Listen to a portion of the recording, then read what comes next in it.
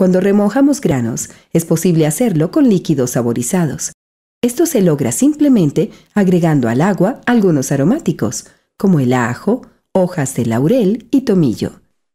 Si queremos infusionar aún más el sabor, hierva los aromáticos, como lo hace con el té, y una vez esté completamente frío, puede utilizarlo para remojar los granos. Si los frijoles van a absorber algún líquido, es mejor que absorban uno cuyo sabor sea especial. Si quieres aprender más,